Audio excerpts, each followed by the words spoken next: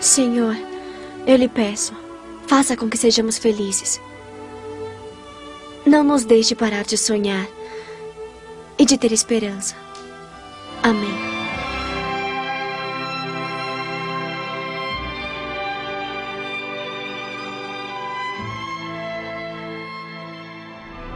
Massacraram uma menina assim. Como se pode chegar a tanto? Diga o que me quer. Diga! Deus não quer! É pecado! Eu não cedi. Ele me matou.